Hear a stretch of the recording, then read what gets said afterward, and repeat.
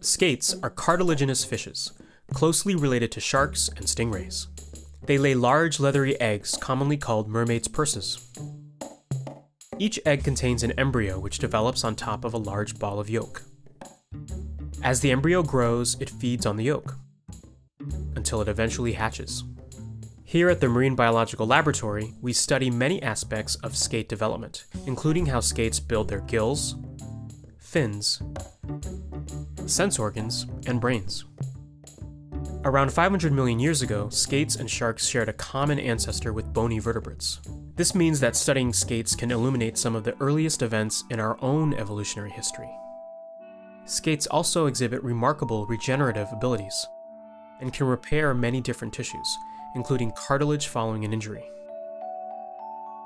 By learning how they regenerate, we may discover new ways to restore health and treat human disease.